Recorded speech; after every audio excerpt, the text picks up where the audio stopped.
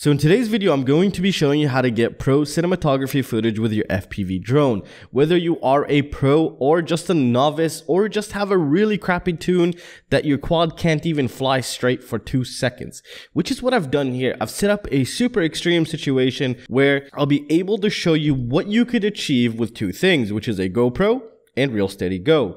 Now, today we're going to be using the GoPro Hero 8. You could also use the Hero 6 and possibly the Hero 7. I haven't tested those, but I'm using a GoPro Hero 8 with stability turned off. So you will get to see how bad the flight was and what I was able to accomplish with such a terrible flight and purposely also flying very extremely bad. And this is the precursor to future tutorials that are going to be upcoming where I'll also be going into depth and detail on the best settings and some of the things you need to do. Now I've also done this with no ND filter and I'll show you what my GoPro settings are in a bit. But first of all, let's take a look at some clips here and to show you the difference I was able to achieve with the same flight footage. So the first clip we're going to take a look at is me taking off and also just keep rolling back and forth to make a very unstable flight. And you can also see the PID tune kind of oscillate here and there. And then we're going to transition to the smoothed out version with ReelSteady Go, which we're going to get into a bit more detail after this quick preview. So here's the flight that's not been stabilized.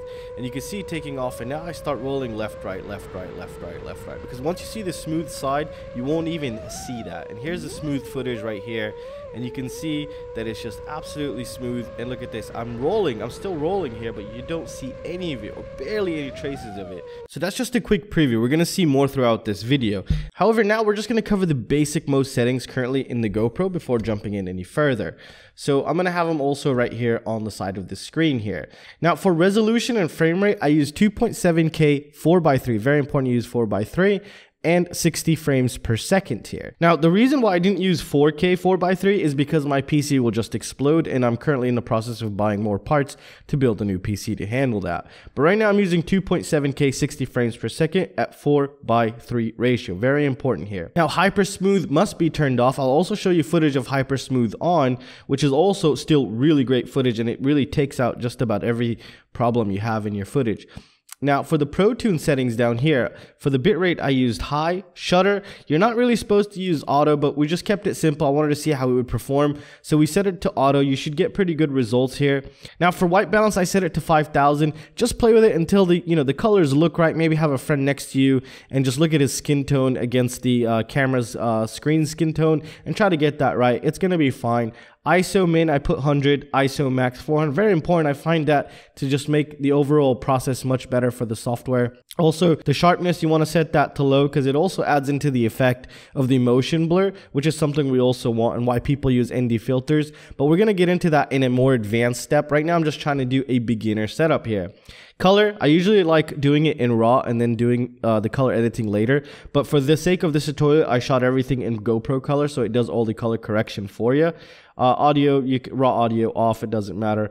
Mic doesn't matter. And these are just extra settings which you really don't need to care about. But this is what you really need just to get going and to get footage just like I got here. Now, once you capture the footage here, the next thing you're going to want to do is you're going to want to go ahead and download ReelSteady Go or even purchase it. You can download the free trial, but it'll have watermarks all over the place. However, buying ReelSteady Go is only $100 and is totally worth it in my opinion. All right, guys, so once you go ahead and load up your movie, it's a very simple software. So you press load right there and you load up your file and it'll go through this and start adding these green points here. Now you'll be like, well, what the hell are these green points here? Well, in every GoPro footage, there is we could consider it subtitles. Now these subtitles are basically the gyro data. And those green points are syncing in the subtitles with what's going on with the footage. So when you say hello, it actually gives the subtitle at the exact same time saying hello. So it's kind of the same thing when you make a right turn, that the gyro was actually doing a right turn. So the software could compensate for that right turn and keep your footage stable. For example, if you illegally downloaded a Netflix movie and ran it through a software called FFmpeg, you could find all of the subtitles for every language, and you could actually export those out of the movie in text file format or SRT format, whatever format you want, even CSV. And the same thing is going on here. Um, the subtitle is the gyro data. And it's just it, that's all it is. And we're just going to sync in when you say hello that the gyro data is saying hello. And what's really nice now with the software it's much easier to do that. Before it was slightly harder and now it's just absolutely simple. And here's a quick issue that you might run into which is going to be very useful for a lot of people and also help you understand this more. So the first thing i prefer and like to do is i like to go to the settings here on the down right and i like to remove that, drop that right about there, and drop that right about there. That should be pretty good. Don't do lock horizon because if you do flips, you're, you're it's just going to be terrible. You can play with that stuff later. We'll also cover that later on. But right now, this is just throw out something like this and you should be pretty good. We're going to press OK. We're just going to let it recompute this real quick. All right, so now it has completely finished recomputing. The next thing I want to do is I want to check over the footage. Uh, just go to the different green points of synchronization and see where it went out of sync. Now, this is very important to think of it that way. So the first thing I want to do here is, as you can tell, my first sync point was me putting the quad down.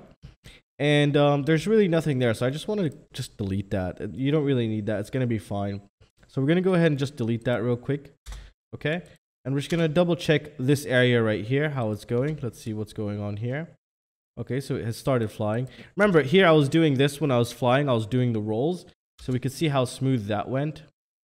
It's difficult to see right now, but you'll see the quadcopter from the shadow down here start to do this eventually. There we go. Now I started. And looks smooth to me, which is really great. This is obviously supposed to be much faster, but because my PC is just under a lot of uh, load right now. So that sync point looked pretty good. Let's go ahead and go here. It's a little bit difficult with it being in super slow motion right here.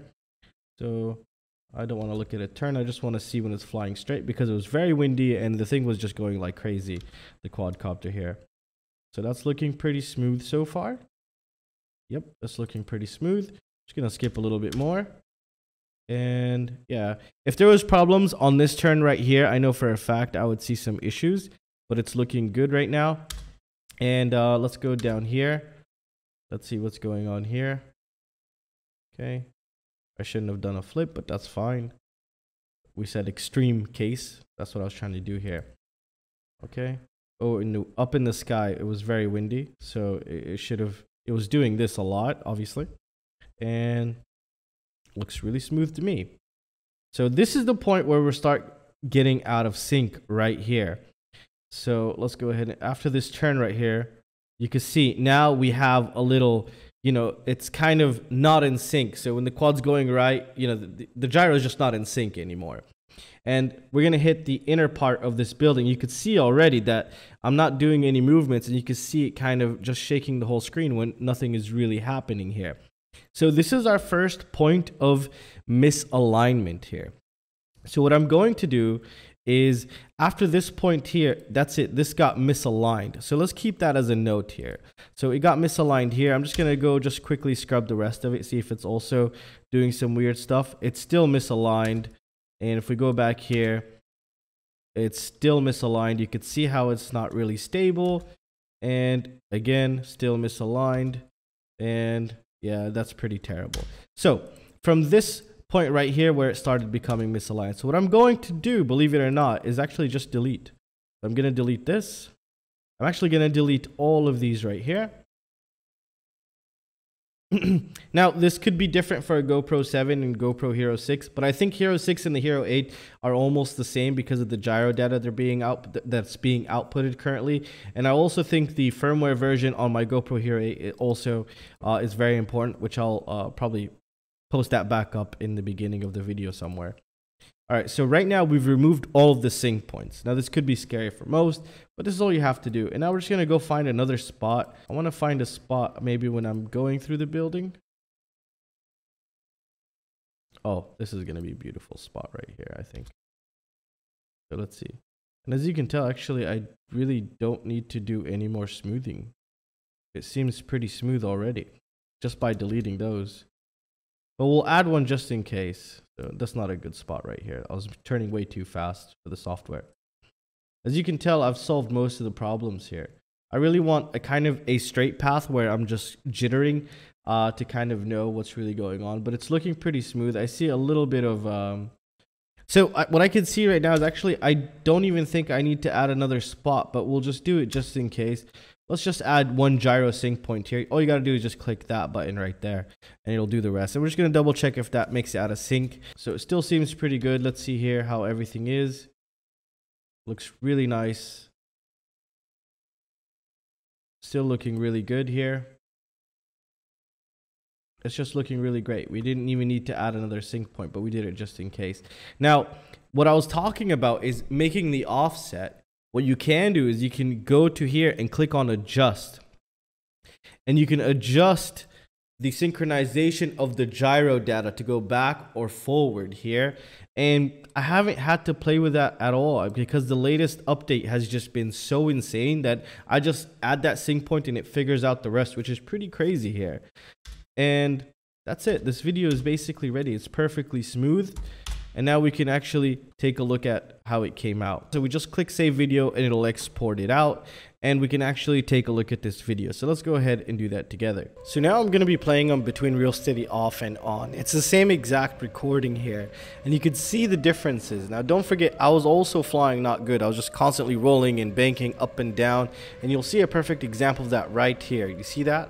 and I'll go back to it. That's what was really going on, and that's how clear and smooth it became, which is just insane here. So we're gonna watch just a couple more clips of this, and then later on, I'm gonna leave you guys with the final smoothed out version with a small edit where we just drop the audio add a little bit of a song to it and just see how well we can do with such a crappy flight. It's just insane what you're able to do now with the software. Alright guys, and that's going to conclude it for this video guys. Now make sure you watch my Instagram where I took your advice to make this video. And you could also see a lot of behind the scenes stuff that I'll be posting there. So make sure you check it out. And I'll also be doing giveaways on my Instagram account. I really want to grow it. And also if you want to support the channel, make sure you check the links to the builds down below. For example, the latest iFlight build, which I used in this video. And also the GEPRC build, which was also used on this video here. And also if you didn't know, come check out Shop Drone Mesh where I have my merch. Secret shop access is only to my Patreons, and sometimes I release it to the public every two months or so. But my Patreons have always access to the secret shop